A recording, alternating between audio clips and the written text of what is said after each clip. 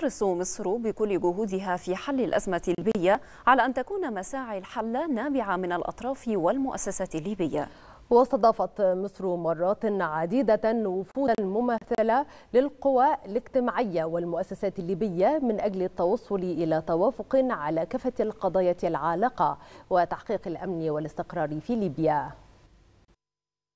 تحقيق الأمن والاستقرار في ليبيا هدف تسعى إليه مصر من أجل ليبيا قوية موحدة. مصر بقيادة الرئيس السيسي تحرص دائما على المشاركة بفعالية في المشهد الليبي لاعتبارات عدة أهمها تحقيق الأمن والاستقرار في ليبيا الذي يعد بالنسبة لمصر قضية أمن قومي. مصر كانت وتظل هي الداعمة لمسارات التهدئة والحل وجهود خفض التصعيد بين الأطراف الليبية فضلا عن المساعي المصرية لحشد مزيد من التأييد الدولي نحو موقف إيجابي للتصدي لخطر التنظيمات الإرهابية في ليبيا. عملت مصر بقيادة الرئيس السيسي على احتفاظ الدولة الليبية بكيانها الموحد كدولة وطنية حيث وقفت كحائط صد منيع أمام محاولات بعض الدول لتقسيم ليبيا والتأكيد على ضرورة إعادة اللحمة للشعب الليبي.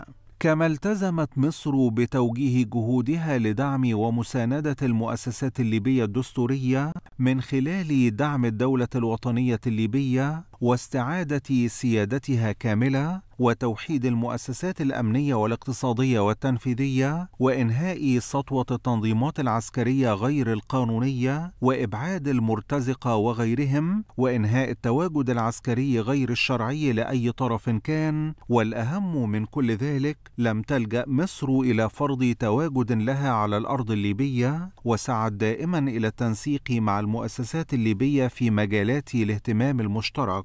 الرئيس السيسي كان حريصا منذ تولي الحكم على حل الأزمة الليبية وأن تكون مساعي الحل نابعة من الأطراف والمؤسسات الليبية لذا استضافت مصر مرات عديدة وفودا ممثلة للقوى الاجتماعية كالقبائل والمجالس الاجتماعية الليبية ومؤسسات كالبرلمان الليبي والجيش الوطني وحكومة الوفاق. القاهرة استضافت كذلك الجولة الثالثة والأخيرة من مفاوضات اللجنة المشتركة من مجلس النواب والمجلس الأعلى للدولة المتعلقة بالمسار الدستوري الليبي وانتهت الجولة إلى أن اللجنة المشتركة أنجزت الكثير من التوافق على المواد الخلافية في مسودة الدستور الليبي. هذا وتواصل مصر دورها من خلال العمل مع جميع الأطراف والقوى الوطنية والمكونات الاجتماعية الليبية لوقف أي تصعيد وتغليب لغة الحوار وتجنب العنف لتظل مصر دوما هي المدافع الأول عن مصالح الدولة الليبية.